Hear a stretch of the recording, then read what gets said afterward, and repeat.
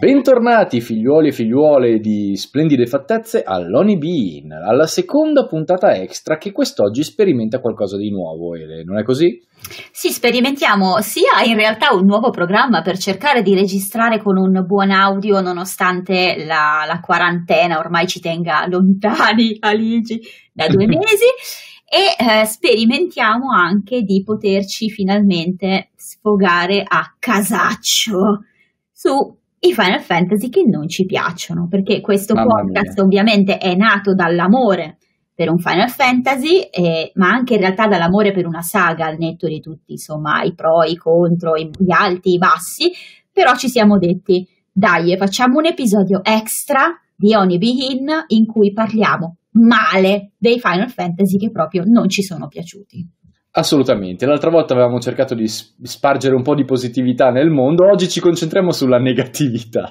E ci concentriamo in realtà su uno specifico individuo perché parliamoci molto serenamente. Voi, eh, noi, noi, ci lamentiamo molto spesso di Nomura per tutto ciò che ha combinato di negativo eh, e lo elogiamo per quello che ha, che ha creato di positivo, ma la grande verità è che quando andiamo a toccare i Final Fantasy che ci stanno più sui maroni e non c'è veramente modo di definirli, eh, quello che ci ha toccato più nel profondo, ci ha toccato in posti dove fondamentalmente non era il caso di toccarci. Indica sulla esatto. bambola dove ti ha toccato.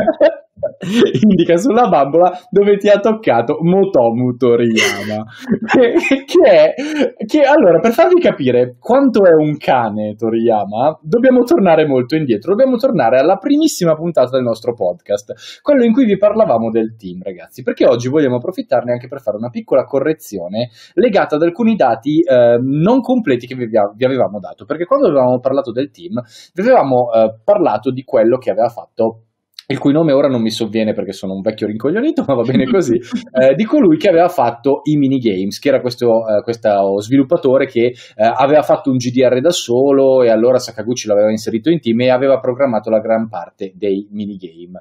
Ma quello che non vi avevamo detto è che il minigame che ci stava più sulle balle, quello peggiore di tutti, quello del sottomarino, non l'aveva fatto questo povero Cristo, ma l'aveva congegnato proprio Motomu Toriyama, che era su Final Fantasy VII già un, ev- un event planner. e... Se ci pensi è un po' come quando ti chiedi, ma se potessi tornare indietro nel tempo e uccidere Hitler bambino, lo farei. se potessi tornare indietro nel tempo e legare Motomu Toriyama, lo faresti? Sì, ma lì non abbiamo colpe però Eleonora, perché parliamoci seriamente, no? Viene fuori Final Fantasy VII, capolavoro assoluto. Toriyama fa il sottomarino, lo devi legare subito. È, è, è, chiaro, non dovevi fermare subito, chiunque l'avrebbe capito. E invece lo hanno spinto perché, perché avevamo parlato del fatto che Kitase, forse, forse non avevamo trattato questa cosa, ma Kitase fondamentalmente è una persona che non è particolarmente capace quando si tratta di eh, comprendere il talento altrui. e Toriyama l'ha proprio preso sotto la sua ala e lo ha spinto per anni come potenziale director. Quindi questa cosa, questi Final Fantasy di cui parleremo oggi, sono in larga parte colpa di Kitase, eh, che ormai, che più vado avanti ad analizzare questa cosa, più mi rendo conto che forse sono più le cose brutte che ha fatto di quelle belle. No, non è vero, non è vero. Continuo ad amare Kitase perché ciò che ha fatto è stato meraviglioso, però mamma mia, molte delle sue azioni hanno portato a dei risultati tutt'altro che, che meravigliosi. Perché Toriyama, e io eh, ne avevo parlato, eh, oddio, non so se ne avevo parlato anche nel podcast o nei miei live, come al solito la memoria mi sfugge, ma fondamentalmente il problema principale di Toriyama è che lui era questo director da JRPG di quarta categoria che si, si era trovato per qualche strana motivazione tra i, i, piani alti di Square Enix a dover fare i Final Fantasy.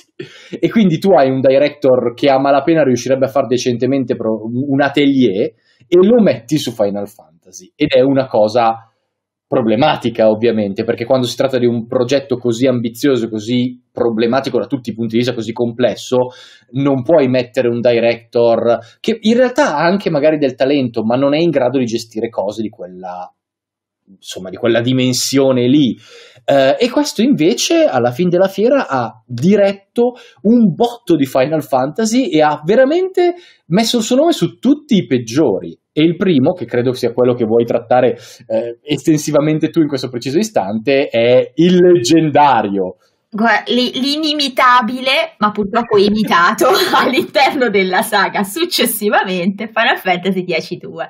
Devo premettere che mi dispiace quasi un po' perché è sparare sulla Croce Rossa Final Fantasy X-2, sì. nel senso che eh, altri titoli che citeremo, in realtà magari lo facciamo anche un po' come provocazione di dire che sono quelli che ci fanno più schifo, però in realtà magari diremo sempre che ci sono delle cose positive, delle cose che hanno funzionato nonostante. Sì, beh, anche nel 10-2, eh, anche nel 10-2. Nel 10-2 però mm. veramente poco e soprattutto è un titolo così eh, stupido, ma intendo proprio nel senso puro della parola, è un titolo così stupidone, meglio ancora, che veramente, cioè, ti, quasi ti dispiace dire che fa schifo, però ragazzi, diciamolo, è un gioco che fa schifo. Parliamone un attimo, un pochino così, con calma. La questione è che il buon Toriyama era stato l'event director in Final Fantasy X, quindi si era occupato degli eventi speciali del gioco. Giustamente hanno detto, dobbiamo dare la direzione del primissimo seguito ufficiale di un capitolo della saga. A chi la diamo? Diamola all'ultimo dei poveretti che ha fatto gli event. Verrà benissimo. Va detto, poverino, io qui spezzo, un, non dico una lancia, ma una, una piccola matita in favore di Toriyama dicendo che quando ti dicono organizza una cena con gli avanzi di due settimane non è facile. Non è facilissimo, diciamolo pure. Infatti Final Fantasy X-2 è appunto il primo seguito ufficiale di un titolo eh, della, della, saga di Final Fantasy, eh, seguito al 10 che era un gioco che ha avuto un grande successo e che è stato molto amato e soprattutto ha avuto una protagonista molto amata. Yuna è eh, tuttora tra i personaggi preferiti del, del fandom, dei giocatori, quindi hanno pensato, ma mentre ci spostiamo sul prossimo, perché non facciamo un titolo di mezzo per fare del puro cash-in? D'altra parte ricordiamoci che quelli sono gli anni in cui Squaresoft era diventata Square Enix. Sì, sì, Quindi... sì. Ed, è, ed, è, e sono stati gli anni che hanno poi portato in realtà al degenero che poi è, è, è, secondo me esploso veramente con la cacciata di Matsuno e in generale tutto il casino di Final Fantasy XII, ma lì si vedeva che comunque a livello proprio concettuale avevano cambiato completamente filosofia per abbracciare il vil denaro, su quello non ci piove. Assolutamente sì, e infatti era il 2003 ed esce questo seguito, tra l'altro rapidissimo perché è un Final Fantasy che è stato sviluppato alla velocità della luce rispetto agli altri perché chiaramente riutilizzava, che è un piacere, tutti gli asset, tutti gli ambienti, qualsiasi cosa praticamente era presa para para da Final Fantasy X, c'era solo da fare una cosa, appiccicargli una trama decente. Secondo te l'hanno fatto? Assolutamente e... no!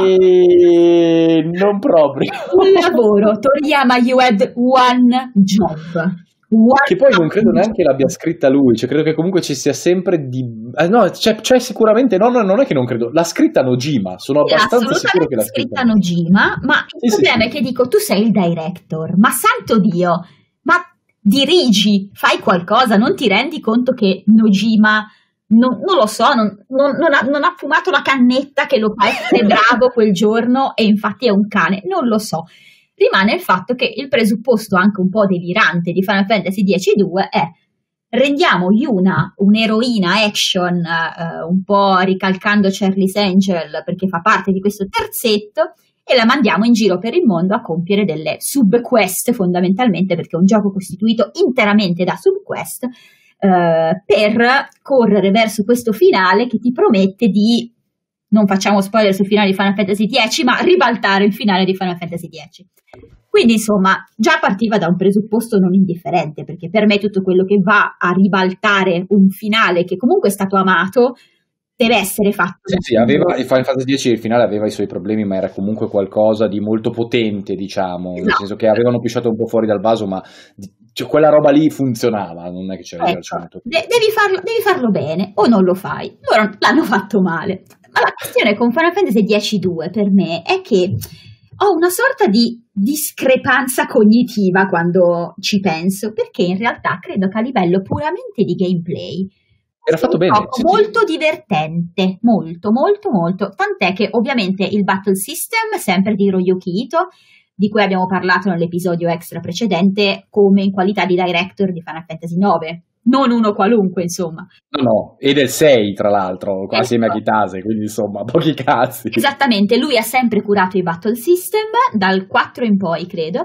e eh, Final Fantasy X-2 di fatto io lo trovo molto divertente e in assoluto credo tra i titoli eh, minori, diciamo, tra quelli meno riusciti, quello che è più divertente da giocare al netto di tutto.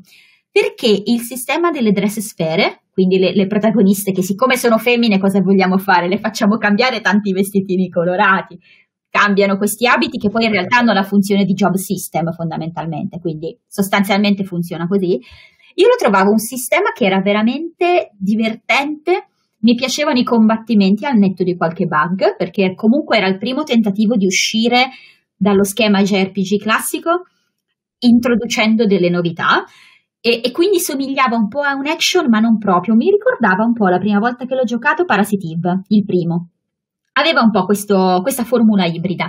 E quindi da quel punto di vista me lo ricordo anche che, che mi sono passata delle ore divertenti. Però ragazzi, quando cerco di ricordarmi il resto, è, un, è, un, gioco di un'idiozia senza. Sì, sì, è di una stupidità. Ma allora, ma è proprio già i primi minuti che io poi l'ho rigiocato in live non troppo tempo fa. Già i primi minuti sono scioccanti, ma perché tutta la delicatezza dell'universo di Final Fantasy X, tutta la profondità, tutta la drammaticità va a troie in 10 secondi netti. È incredibile parte questo co- è una roba inguardabile. I, i pri- le prime ore sono inguardabili ragazzi. Il problema è che poi non è che la trama migliora cioè svacca dei livelli strabiliati ma sì anche perché purtroppo non ha una vera trama appunto. Cioè dei momenti no, esatto. in cui tu compi la quest e c'è lo scattino in avanti. Però ha veramente poco. Sì assolutamente. E poi c'è questo problema a parte il fatto che io amo sempre immaginarmi Lulu come una persona reale, il personaggio di Lulu, che riceve la sceneggiatura e dice io sta roba non la faccio. e quindi qualcuno dice c'è da trovare un'attrice un po' uguale ma non proprio tanto uguale e hanno inventato il personaggio di Pain. Pain, ricord- Pain. neanche i cattivi di Metal Gear Solid hanno, hanno dei nomi così. Quindi trovano questo personaggio che si unisce a questo terzetto composto da Yuna, appunto Pain e Riku e se ne vanno in giro. Ma il problema è che il personaggio di Yuna, che era molto amato, ma dico, ma come ti viene in mente per farlo amare ancora di più lo stravolgo e la rendo il contrario di Yuna? Cioè, eh, sì. Qu- cosa ti salta in mente? Perché io capisco che Yuna comunque in Final Fantasy X è segnata dall'essere cresciuta con una grossa responsabilità, è comunque una persona fin troppo ligia al dovere, che fa fatica a vivere come un adolescente, questo ci sta. Però cazzo, cioè ti lascio, soli, ti lascio solo due minuti e, e me, me, le, me, le, metti i pantaloncini mezzi tipo strappati, stile TikTok, e, e, e, diventa una pop star e va in giro a fare la... Cioè, ma di che cosa stiamo parlando? No, no, no, siamo, siamo alla follia. Siamo veramente alla follia, ma infatti è una roba allucinante che poi, come dicevi tu, è un mezzo spreco perché le problematiche del gioco sono prevalentemente narrative, ma eh, il combat system era in realtà piuttosto valido, il gioco non era poi così male. Strutturalmente manteneva molte delle problematiche del 10, in realtà persino amplificate dal fatto che comunque eh, la linearità era gestita molto peggio del 10, era, il gioco aveva delle attività molto meno ispirate, comunque era qualcosa di molto meno riuscito in generale proprio a livello di, di, design e direction, ma ripeto, l'hanno dato Toriyama, non è che ti potevi aspettare il capolavoro, però è la narrativa quello che lo disfa veramente, perché eh, il 10 comunque era un mondo del grande potenziale che però in quel gioco aveva chiaramente detto tutto quello che doveva e poteva dire. E quando hanno voluto tirarla mamma mia se l'hanno tirata male, ma poi con, con, la, con, tanto di finale segreto per avere il good ending a tutti, una schifezza, veramente una schifezza in vere Pessimo e tra l'altro secondo me resa ancora più pessimo dal fatto che avevano avuto l'intuizione giusta all'inizio, perché all'inizio, non so se tu ti ricordi, avevano detto che gli sarebbe piaciuto fare uno spin-off di Final Fantasy X che raccontasse il viaggio di Braska, Jack Theoron eh, sarebbe stato figo. E tu dici, cavolo, quello. Solo che secondo me si sono fatti due conti, c'era da fare troppo, da ricostruire troppo, troppi nuovi asset. Personaggi hanno detto, ma sai cosa? Facciamo che Lulu e Waka si sono sposati, hanno un bambino dentro una eh. zanzara che toffa e siamo a posto così. E vabbè, ok, d'accordo. Però capisci che questa, questa cosa qua purtroppo è una parte integrante di tutto l'approccio al lavoro di Toriyama nel passato e nel futuro. Cioè il, la, la, eh, eh, cito sempre Boris, però veramente lo smarmella tutto. È quella roba lì del non ce la facciamo o forse non ce la facciamo o forse è troppo faticoso, allora facciamo altro, che ha rovinato tutta la sua produzione. Perché il 10-2 i problemi ce li ha, sono macroscopici, non possono essere in alcun modo eliminati e sono sotto gli occhi di tutti. Ma Toriyama ha fatto porcate persino più abominevoli in quello che è il mio Final Fantasy più odiato. Sì, che, scusa, che poi... scusami Alici, ma quindi sì, sì. una parentesi, è pure uno dei miei, non ti prendere tutta la certo, sì, sì, sì, voglia, capisci, di odiare questo titolo perché è importante che si sappia. Però... Credo sia il più odiato, credo, da quasi tutti, quasi. ma non ne sono sicuro che sia il più odiato da tutti, ma da quasi tutti no. ma è il 13, ragazzi, che poi è la, è la, prima parte della meravigliosa fabula Nova Cristallis, che quando la, la, nomini a un fan di Final Fantasy gli viene la pelle d'oca e si congela il più delle volte. Eh, il 13 è stato un disastro, in realtà in larga parte per la direction ecco, sì, smarmella tutto di Toriyama, ma in larga parte perché è stato uno dei primi titoli che ha dimostrato che Square non si raccapezzava più non ce la faceva più a organizzare le cose, soprattutto quando le cose erano particolarmente complicate ed erano particolarmente difficili da mettere in, alto, non, in atto. Non aveva più quel coraggio che aveva all'inizio, eh, non era più in grado di gestire i suoi mezzi, i suoi talenti, la sua tecnologia e quindi eh, però i giochi li doveva buttare fuori, cioè i giochi li doveva buttare fuori, li dovevi buttare fuori e quindi completi, incompleti, usciti bene, usciti male, non gli importava più, uscivano e è uscito Final Fantasy XIII. Final Fantasy XIII è un gioco che ha delle problematiche a livello di sviluppo che secondo me sono seconde solo a Final Fantasy XV, Mm-mm. perché il 15 è stato il più tormentato di tutti, ma il 13 che, tra l'altro il 15 deriva dal delirio del 13, eh, ricordiamolo, perché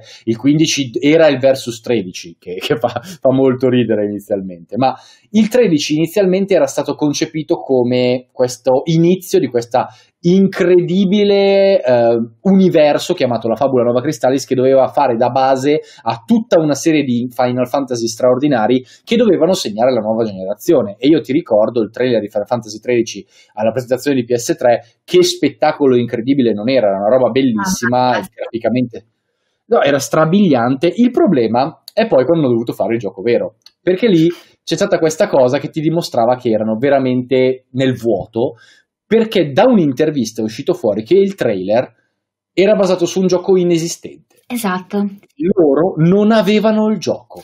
Quelli sono stati gli anni in cui Square Enix si è convertita a una casa produttrice di trailer e sì. quello è stato il loro più grosso scivolone in termini anche proprio di pubblico, perché da quel punto in poi hanno continuato a fare a raffica trailer sempre più fichi che poi non corrispondevano ai giochi che uscivano perché non avevano il gioco. Esatto, avevano il esatto. Gioco. No, c'è questa intervista incredibile No, ma loro dei, erano dei folli. C'è questa intervista incredibile in cui lui diceva: Non avevamo il gioco e dovevamo farlo, eh, dovevamo raggiungere quel comparto tecnico lì che gli avevamo presentato senza sapere come fare e non avevamo i mezzi per farlo. C'era tra l'altro tutto un nuovo motore di gioco che dovevano utilizzare per PlayStation 3 con tutte le difficoltà di sviluppo della PlayStation 3 perché ricordiamoci il processore Cell, tutti i paletti dello sviluppo, tutti i casini di sviluppare su quella piattaforma. Era una cosa difficilissima fare quel gioco come lo avevano presentato. Quindi cosa hanno fatto? Loro si sono concentrati sul comparto tecnico. Loro hanno avuto questa ossessione del graficone senza però avere una direzione a livello di gioco, che poi si è ripercossa in modo terrificante sul gioco vero e proprio, perché Final Fantasy XIII si vede che è un gioco che ha una direzione incredibilmente limitata, eh, che poi è un vero peccato perché Nojima lì si era fumato la sua cannetta in realtà e quindi si era attivato, era, era, era, era, finalmente riuscito a fare qualcosa di buono dopo un po' di anni di... Eh, insomma. E la fabula Nova Cristallis in sé non era un concept malvagio, era un universo con del potenziale. Questo universo con i falsie, gli elsie, queste uh, entità divine che controllano il destino forzosamente degli esseri umani, era qualcosa dal notevole potenziale, che tra l'altro era stata concepita con un concept molto bello, cioè la volontà di ricollegarsi ai Final Fantasy più antichi, quelli con i cristalli, e dare a questi cristalli per certi versi forma eh, rendendoli delle sorte di divinità, cioè il concept dei cristalli che era prevalentemente eh, buono, positivo, diventava negativo perché le divinità avevano delle persone all'agenda estremamente negative che guidavano la vita della gente. Il concept era figo. La trama di Final Fantasy XIII non era neanche malaccio come idea di fondo. Il problema è l'applicazione perché lì poi è stato un delirio, quando il gioco è disegnato male, l'applicazione della trama non riesce a farla come vorresti, quello che viene fuori è qualcosa di difficilmente fruibile allo stesso livello di un Final Fantasy con un concept solido. Final Fantasy XIII lo chiamano anche Final Corridor 13 perché era di una linearità aberrante.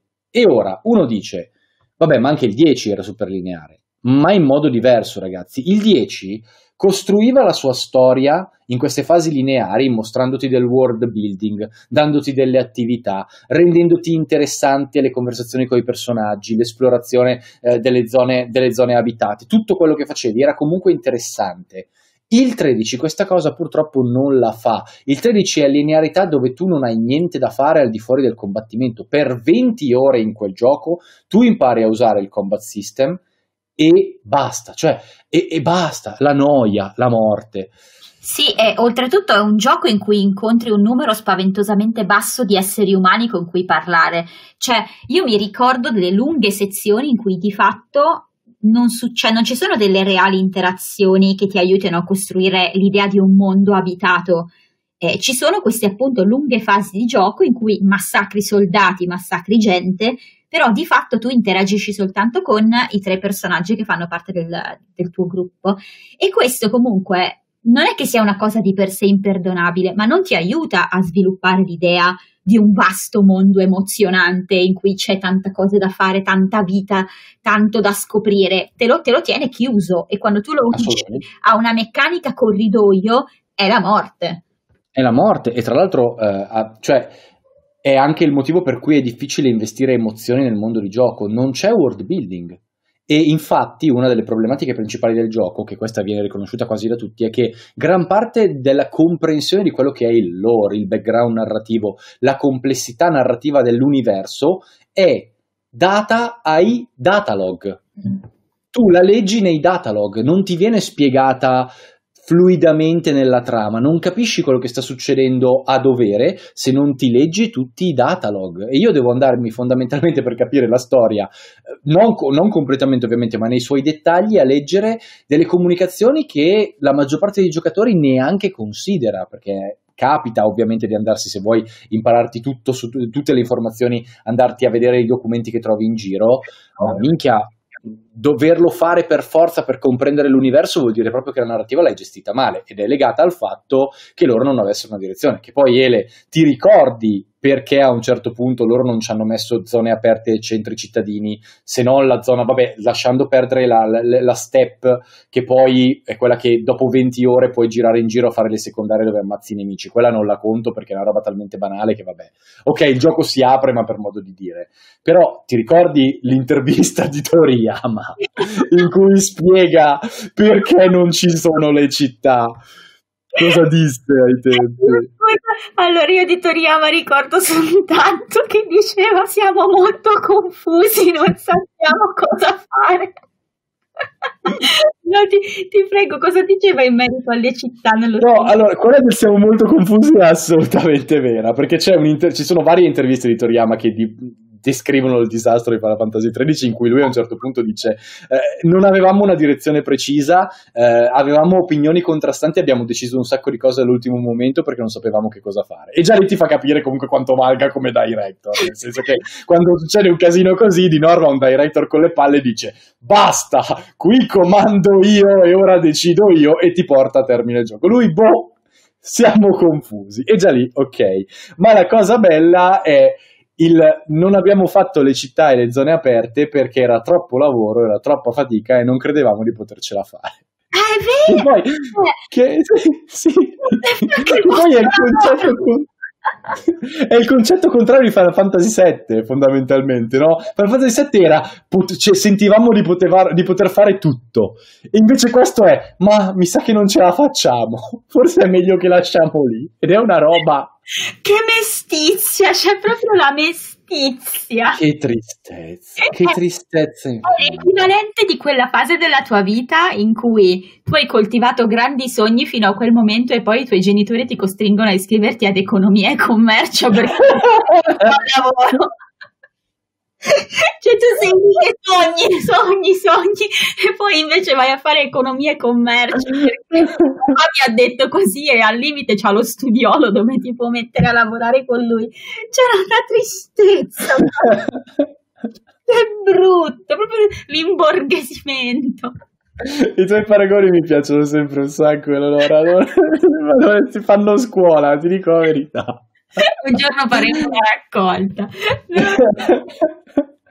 No, è comunque un momento molto triste, perché poi anche lì, um, in realtà, il, il, combat system non faceva così schifo, cioè molti lo criticano per un sacco di ottime ragioni, nel senso che era questa cosa del paradigma shift, perché Toriyama è un po' fissato con varie cose, sia quelle lì che abbiamo appena detto, cioè il uh, facciamo tutto a cazzo di cane e smarmella tutto, Duccio, uh, ma anche il concept del combat system semi-action con i cambiamenti legati ai vestiti e ai ruoli.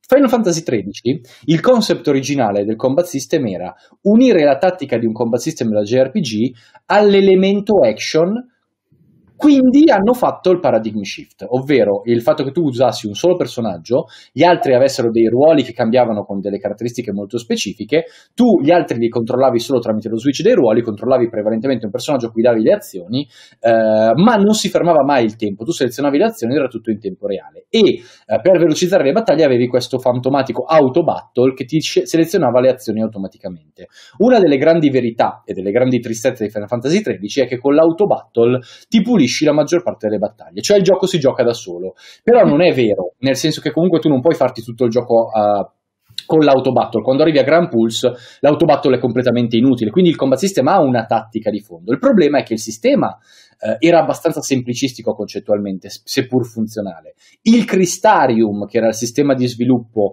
era molto lineare all'interno dei singoli ruoli eh, e in generale la difficoltà del gioco era troppo bassa per la stragrande maggioranza del gioco, quindi con l'autobattle ti pulivi veramente una gran parte delle battaglie e quindi il gioco non era un gioco, cioè potevi letteralmente renderlo una sorta di linearissimo e pallosissimo filmatone per ore, ore, o, iniziavano a brillare le meccaniche dopo 20 ore di gioco, questa cosa qua è inconcepibile, è inconcepibile, vuol dire proprio che era, era diretto e disegnato male. E la cosa più assurda è che il concept del combat system di Final Fantasy XIII gli è riuscito per davvero in Final Fantasy VII Remake. È vero, è vero. È lì, è lì la follia, cioè gli è riuscito per davvero in Final Fantasy VII Remake quello di unire l'action alla tattica in modo sensato utilizzando la pausa tattica. Qua avevano fondamentalmente fallito, che poi infatti è quello che ha portato ai capitoli dopo, che io non so se tu li avevi giocati o te li ricordi, ma io li ho pure recensiti e mi hanno segnato negativissimamente.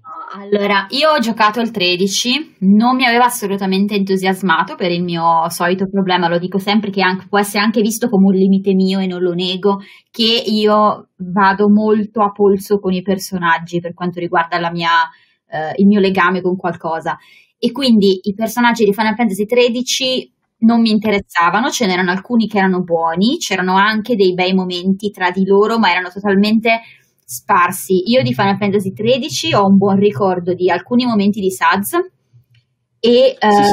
di come in realtà avevano costruito eh, piuttosto bene la relazione palesemente lesbica tra Vanille e Fang.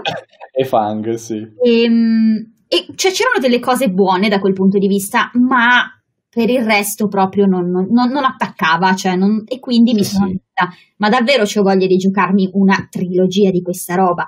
Ho no. giocato del 10-2, cioè del 13-2, perdona la, il, lapsus comunque giustificato, e ho detto, ok, magari no. Diciamo che mi è venuta in mente una scena di un film che io amo moltissimo, che è Santa Maradona. Ed è un momento in cui un personaggio viene uh, minacciato da qualcuno che gli dice: Guarda, che se non mi paghi, ti entro in casa, eh, ti spacco le gambe, ti spacco le braccia e poi ti infilo la chiave inglese nel culo. E il personaggio mm. risponde: Beh, alla fine mi è andata bene perché dopo le braccia e le gambe, ma che me ne frega del culo. E, e, e per me Final Fantasy XIII 3 è, cioè io lo leggo sempre a quella roba lì perché mi dico: Ma dopo che mi hai spaccato le braccia con il primo le gambe con il secondo. Le gambe col secondo. Ma davvero voglio anche la chiave inglese nel culo.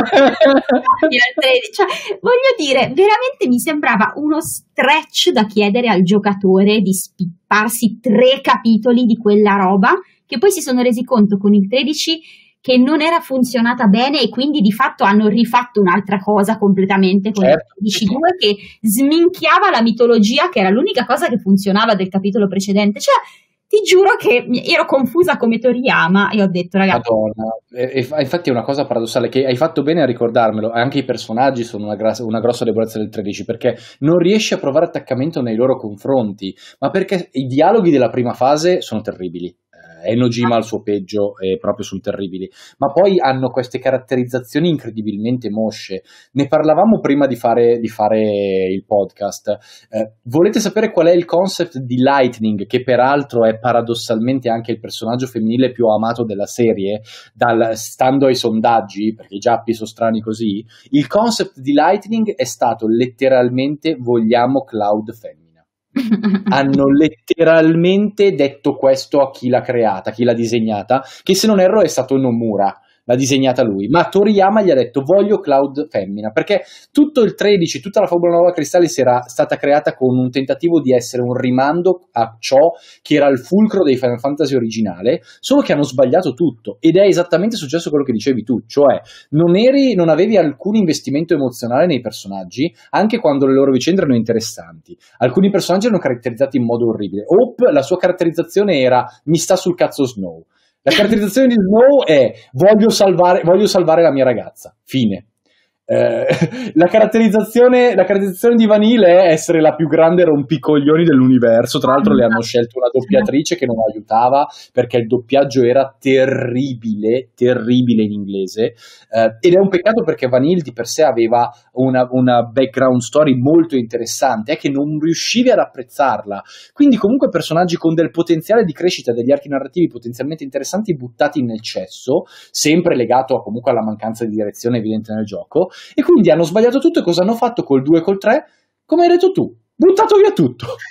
Il 2 era diventato una sorta di Pokémon dove catturavi i mostri e li usavi in battaglia con i protagonisti diversi, tra l'altro protagonisti di una mosceria persino peggiore di quelli dei personaggi originali perché cioè Noel non se lo ricorda nessuno, grazie a Dio, la sorella di Lightning uh, Sera, Far, non mi ricordo neanche come si chiama, Sera Sera mi sembra, non, non mi ricordo, ma cioè, non, me, non, mi ricordo neanche il nome, capisci? Cioè, questo ti dovrebbe far rendere conto di quanto era un personaggio, obiettivamente.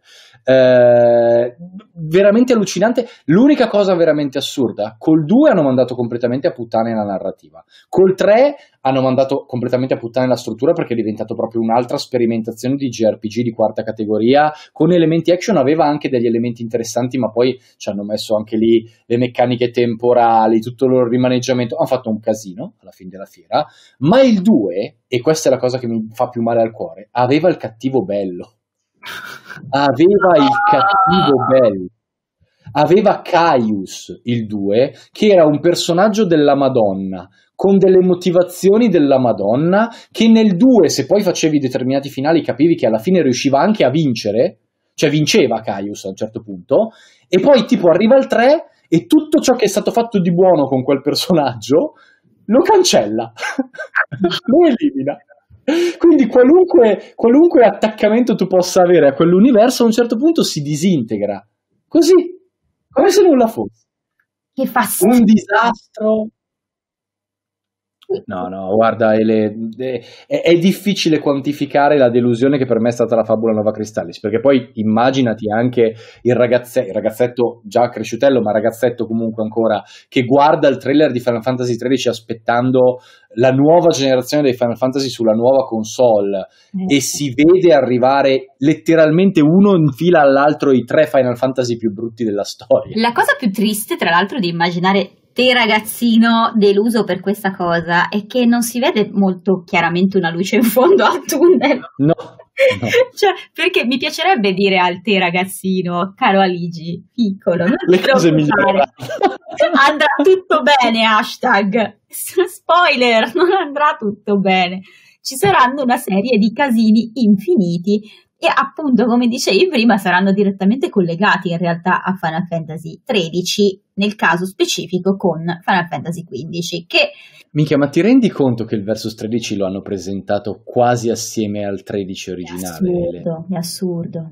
No, cioè, Dio. Infatti ti dico, mi, mi, mi, fa anche dispiacere metterlo qua Final Fantasy XV perché è un titolo di cui sappiamo così bene purtroppo quanto è stata tormentata e difficile l'uscita che da una parte vorresti dire no dai però alla fine ne è valsa la pena perché è un gran bel gioco purtroppo no, non è così cioè io sono meno cattivissima di altri, so che tu l'hai e non ti è proprio piaciuto proprio per niente.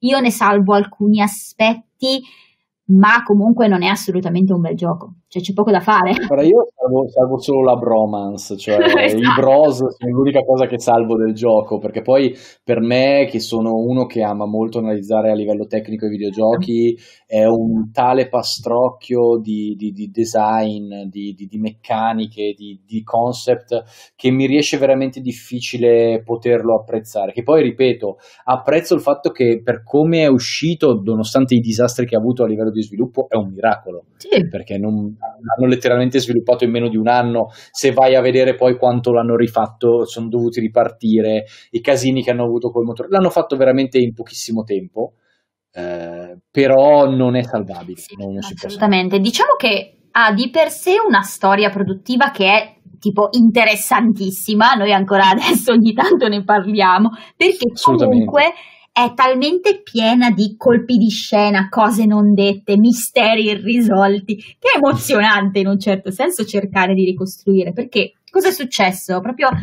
veramente a dirlo in modo approfondito si potrebbe stare tanto, tanto, tanto.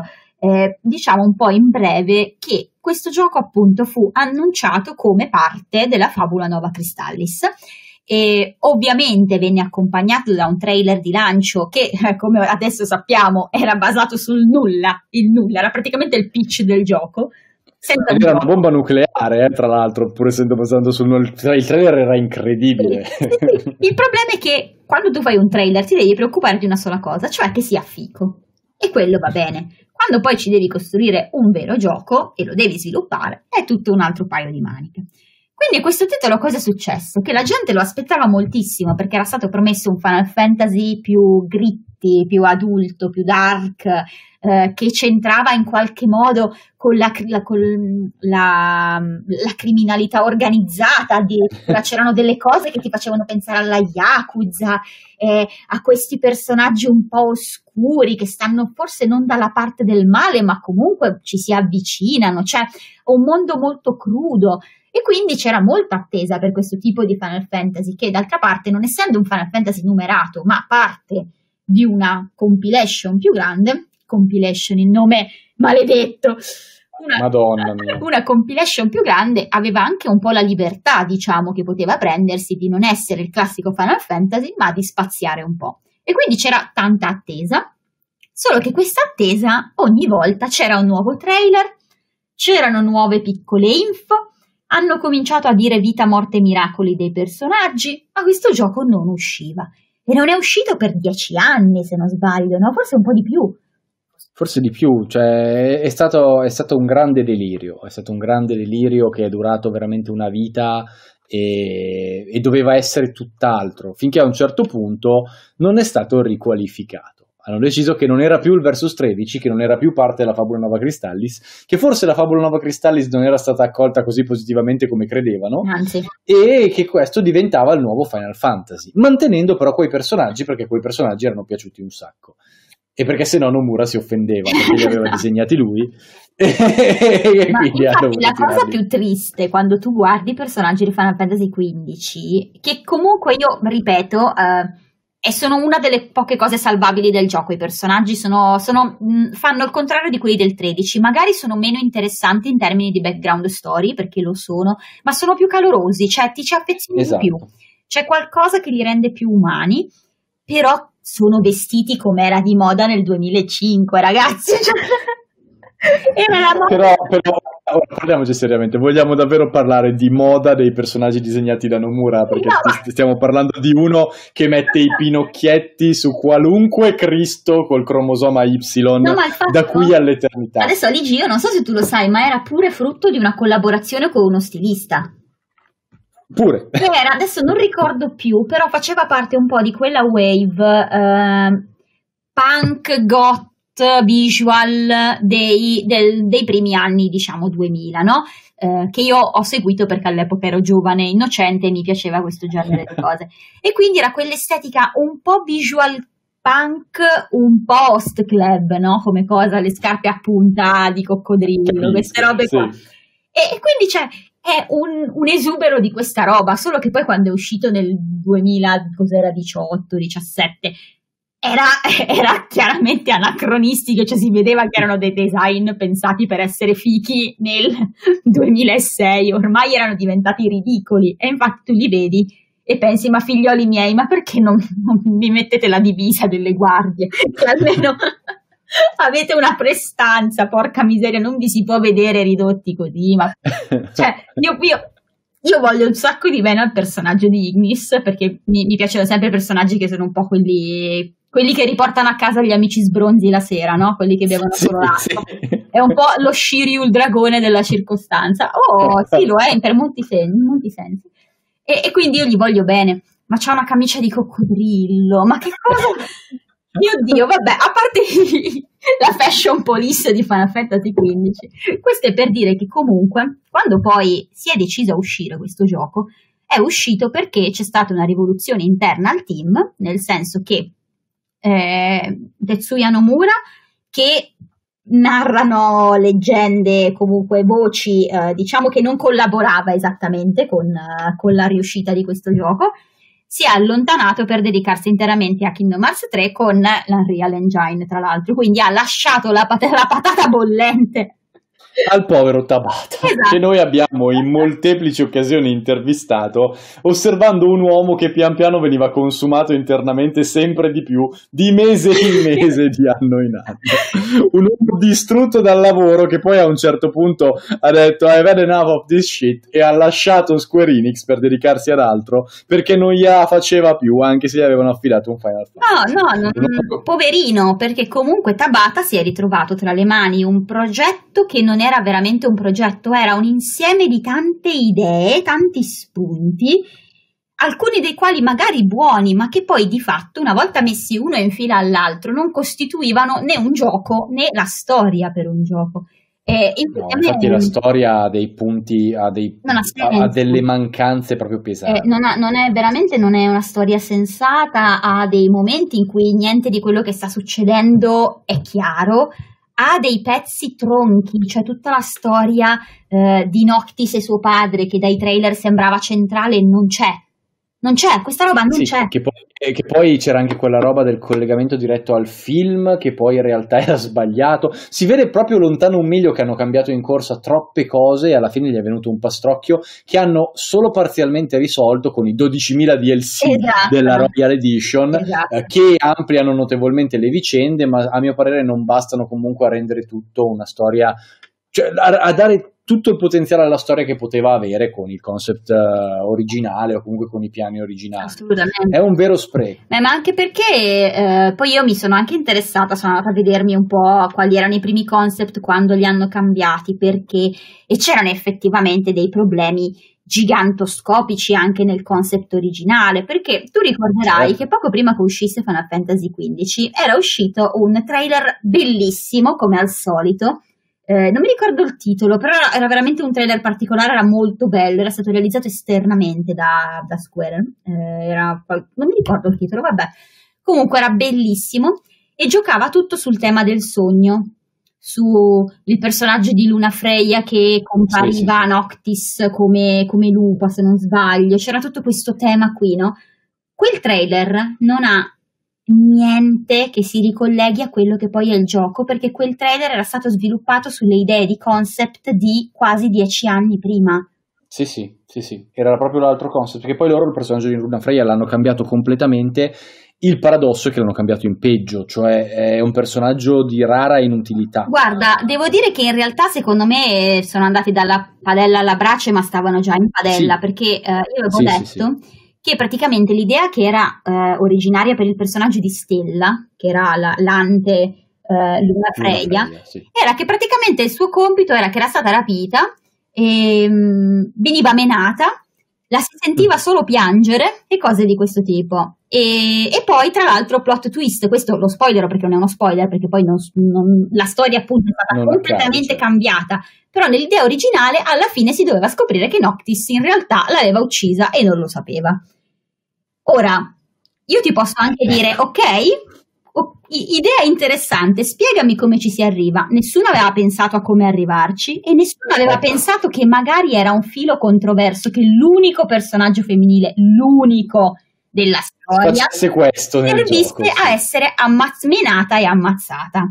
Non era proprio il massimo, no? Capisci? Che era pro- Quindi cioè, siamo passati dal cercare di dare una minima dimensione a un personaggio che era fatto per il nulla risultato purtroppo raffazzonatissimo. Assolutamente. Luna è un personaggio un po' modello di una, eh, con dei, anche dei cambiamenti a livello caratteriale che in realtà te la rendono anche affascinante quando compare le prime volte, no? Dici, ah cavolo, sembra una che comunque ma poi alla fine no, perché la vedi 5 secondi in tutto il gioco.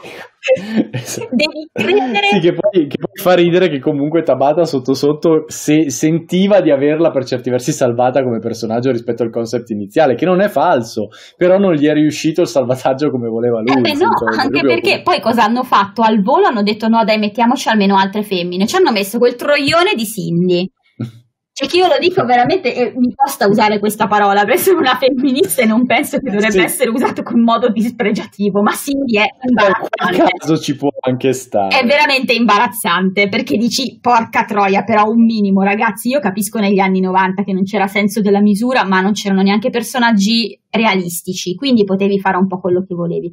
Ma quando mi cerchi di fare una roba iperrealistica perché questa è vestita come... cioè dai, è imbarazzante. Però dici, vabbè, è un personaggio secondario. Il problema è che anche gli altri personaggi femminili che ci hanno inserito, che dovevano essere potenzialmente fichi, in realtà non fanno niente. A- eh. Arena, come si chiama, è, compare 30 secondi, boh, non la vedi più. Design fichissimo, buttato nel gabinetto così senza motivo. Genziana, che sembrava dovesse essere importantissima, non serve a un cazzo. Eh, ciao. Purtroppo è il grande limite di questo gioco, nel senso che ci sono tante cose che ti danno lo spunto e poi però ritraggono il braccio. Quindi, come in Final Fantasy eh, sì.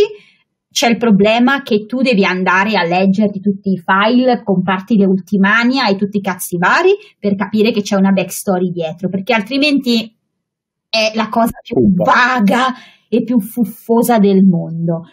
I personaggi sono tanto carini, le interazioni tra di loro sono fatte benissimo, sembra di essere davanti a un vero gruppo di amici, proprio belle, però cacchio c'è... Allora, la backstory di Prompto io la trovo scema, mi dispiace. Un po' di gente dice che è la cosa più bella del gioco, io la trovo di una no. abissale. Però... No, non c'è, non c'è nulla a mio parere di alto livello lì narrativamente, se ti dire la verità. Uh, Beh, forse... Te, eh? te, no, cioè io mi ricorderò sempre il momento in cui a un certo punto Gladio Potremmo aprire una parentesi sui nomi da coglioni che hanno, ma non Vabbè, ma il latino usato a cazzo non, ti, non, non è, è, è, sparare sulla Croce Rossa Perché per davvero. Gladiolus amicizia per me è un problema serio. Però vabbè, c'è questo momento in cui il personaggio dice vabbè, io devo andare perché devo affrontare una prova. D'accordo, sparisce. torna e tu non saprai mai fino all'uscita del DLC che cazzo ha fatto. Che cosa ha fatto, sì. sì. non stiamo scherzando. Eh, lo so, lo so, Ele. Quello è una delle cose che disturba, che infatti rende la Royal Edition una roba un attimino più decente come JRPG, perché se non altro questi buchi scompaiono, però è comunque delirante.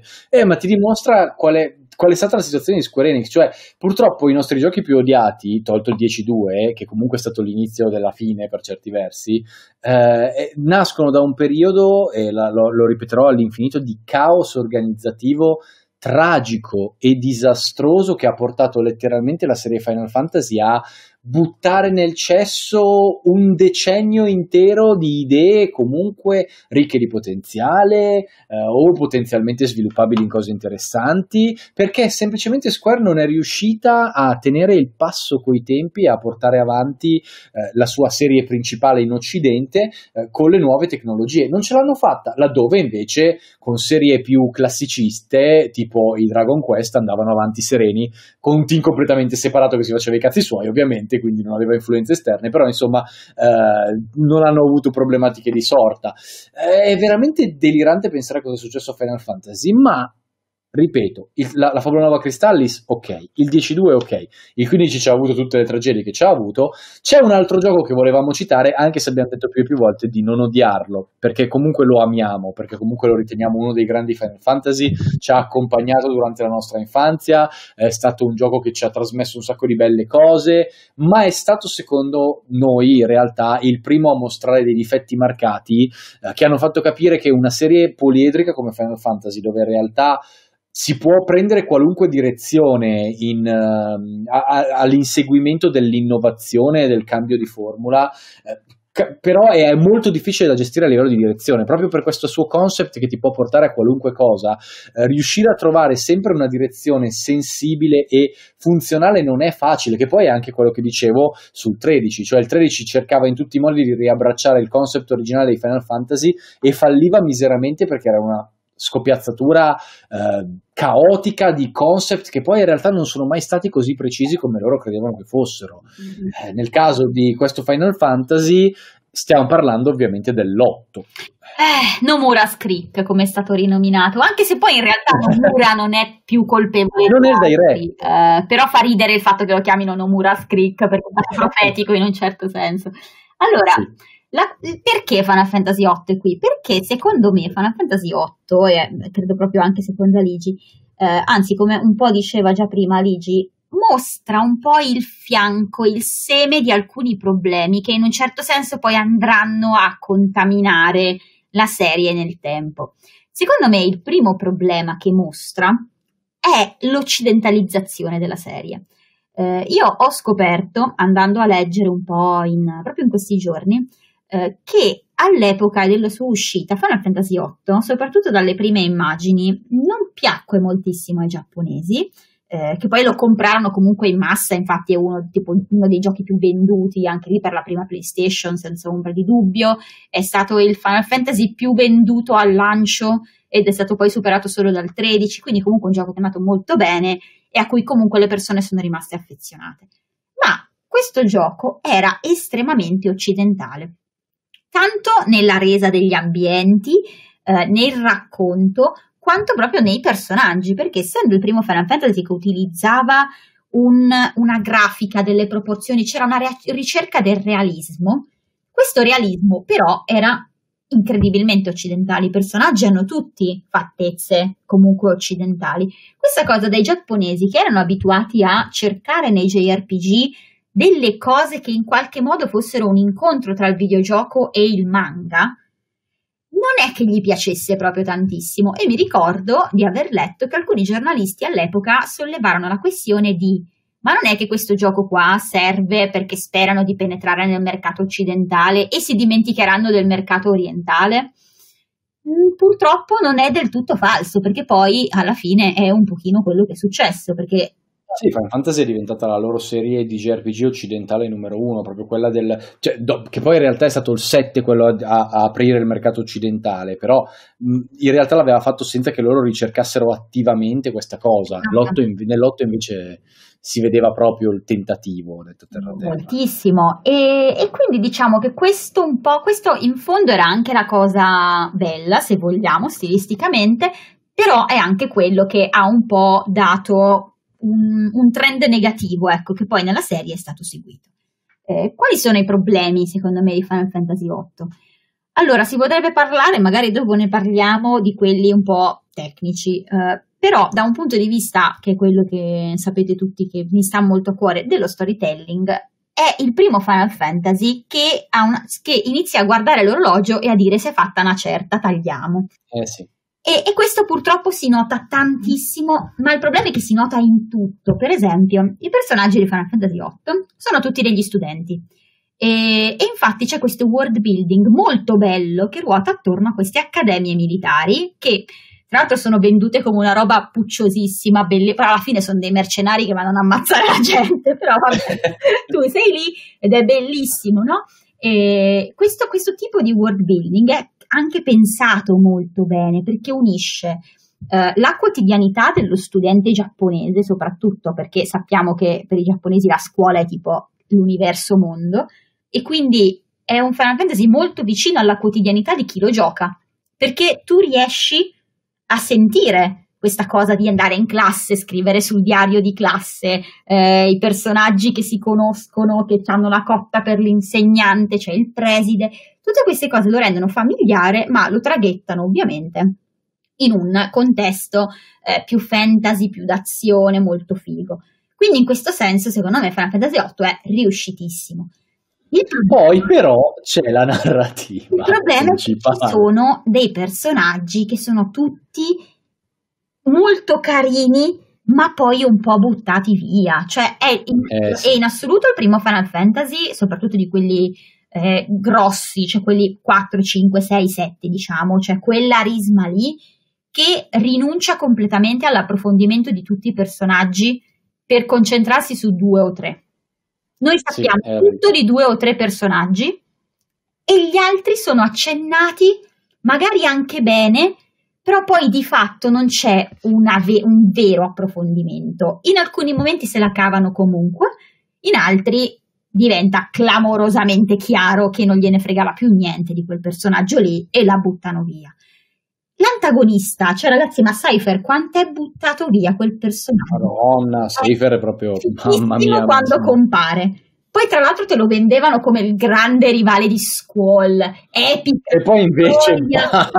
basata anche su Rinoa, che quindi doveva esserci anche una sorta di triangolo amoroso tra questi tre, e lei divisa tra Squall, che è un po' più bravo ragazzo, e Cypher, che invece è ragazzaccio. No, Cypher sparisce a un certo no, punto.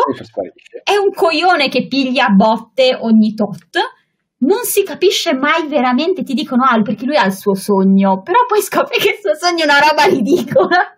e, quindi, e poi alla fine, nonostante sia un tipo, sarebbe tecnicamente tipo un criminale di guerra ricercato internazionale, tara luci e vino a tutti. Cioè, ed è, un antagonista che sembra pacciaco le prime volte che compare ti tira sulla ah, pelle ma tutto, ma tutto, Ele, cioè tutta la gestione di questa roba sembra che a un certo punto abbiano eh, eh, eh, non so bene se la definizione è giusta ma sembra che a un certo punto si fossero inventati due storie diverse e deve essere appiccicate con la co perché a un certo punto c'è proprio una divisione secca della narrativa che porta verso lidi completamente differenti con uno stacco che poi io ritengo è quello dell'orfanotrofio che conosci benissimo. Mamma mia! Che non, non lo stiamo a spoilerare, ma è una delle peggio porcate che ci sia nella storia delle trame di Final Fantasy. Da lì la trama si divide completamente, va verso altre tematiche, altri lidi, altri personaggi e in realtà non, non, non, funziona perché è una roba comunque che sembra buttata lì. Eh, e appunto la problematica narrativa è già molto profonda per tutto quello che Eleonora ha appena detto, per tutte le problematiche legate alla, al, ai costrutti narrativi a come vengono portati avanti, ma comunque tu non puoi non amarlo perché il gioco è ricco di momenti notevoli, ha sempre comunque quello, quell'anima da Final Fantasy, quella, mm. quel peso di tutto quello che succede che ti rimane addosso. Però... Il mondo degli ambienti, della la certo. delle streghe che è bellissima, poteva essere sfruttata di più, ma è bellissima. Assolutamente. Parliamoci chiaro, ma... io quando guardo il filmato introduttivo di Final Fantasy VIII ho ancora la pelle d'oca.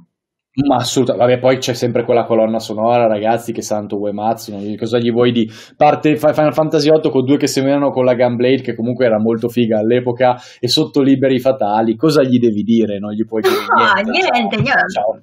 Delle cose di una bella, cioè io veramente, ma idea, ma cosa non era quando ti compariva idea le prime volte con quella colonna sonora in eh. sottofondo, quel design stranissimo, quell'atmosfera rarefatta, aveva un'atmosfera incredibile che è pazzesco che poi se la, se la siano persa.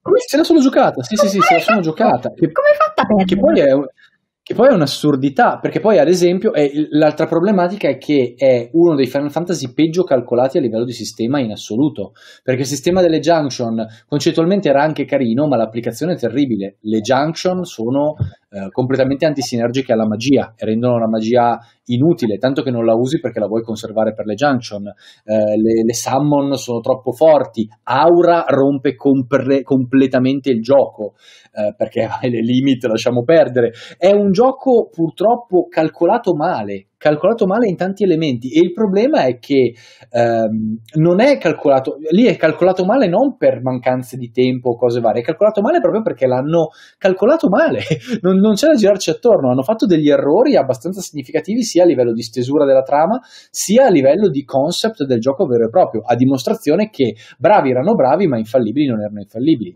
Comunque nonostante tutto questo, io e Eleonora lo amiamo questo gioco, cioè è impossibile non amare Final Fantasy VIII se sei cresciuto con i Final Fantasy, perché comunque è un titolo che ha rappresentato per moltissime persone l'introduzione ai JRPG e il suo immaginario lo troviamo ancora straordinario. Infatti l'abbiamo citato perché comunque è uno dei Final Fantasy più fallati in circolazione e su quello non ci piove assolutamente, è stato uno dei primi veramente fallati però è comunque un Final Fantasy a, a, cui vogliamo ancora bene. Posso dire, che, ovviamente. posso dire che è un Final Fantasy che tra l'altro avrebbe dovuto così tanto viaggiare nel tempo, leggere le teorie dei fan, tornare indietro e modificarsi. E rifarlo, sì, una sì, sì, pazzesca.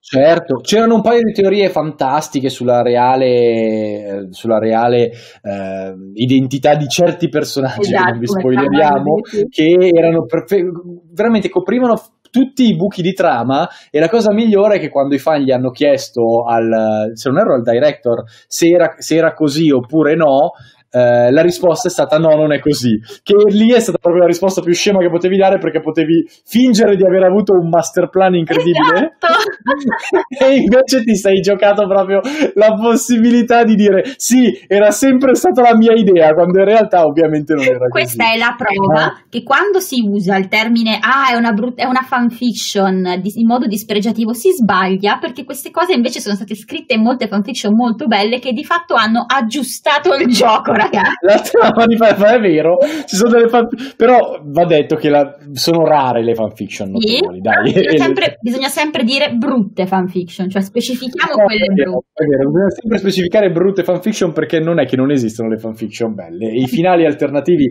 e le modifiche alla trama di Final Fantasy VIII erano fanfiction belle. No, Comunque... Faccio ridere Aligi prima di, scusa, passare oltre perché ci sta. Sì, sì ho letto una recensione dell'epoca di un critico americano mm che diceva che il problema del sistema di combattimento di Final Fantasy VIII era che era troppo complicato. Vabbè, vabbè Ele, ma se, io non, non, credo che tu mi segua live, ma sappi che la mia opinione sulla critica di videogiochi americana non è cambiata negli anni, è sempre stata atroce, ma ti assicuro che in questi anni dove comunque sono il peggio del peggio del peggio, sono spanne sopra come stavano ai tempi di Final Fantasy quindi, quindi comunque guarda, lascia passare tutto perché quello era proprio il Far West. Ah. Cioè io ricordo addirittura delle recensioni in uno dei primi sparatutto tutto con l'analogico destro utilizzato per mirare, con il redattore che diceva chiaro e tondo questo sistema è anti-intuitivo e non funzionerà mai.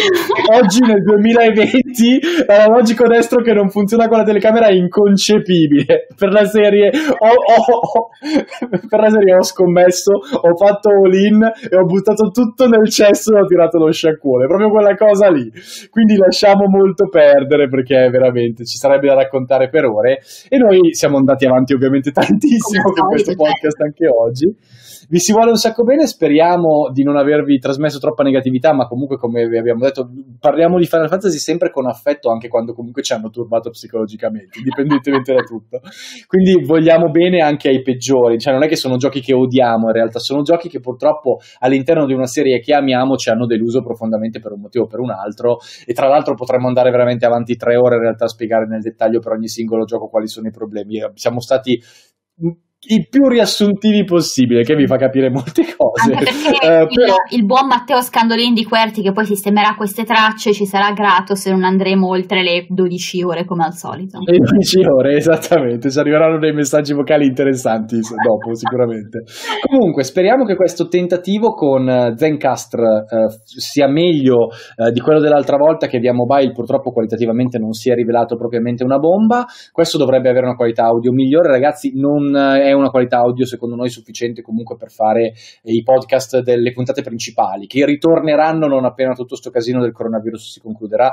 Ve lo ricordiamo, ve l'abbiamo promesso, lo porteremo a termine il podcast, ve lo giuriamo, però adesso siamo un po' impossibilitati. Per il resto io ringrazio sempre la carissima Eleonora che è qua con me a sentire tutte le mie minchiate e a, a, e a parlarne con me per ore e ore e ore sui Final Fantasy. Grazie mille Ele. Ma ciao, grazie a te. E niente, ci vediamo alla prossima puntata, ragazzi. Speriamo vi siate divertiti e molto amore a tutti. Un bacione. Ciao ciao. Ciao.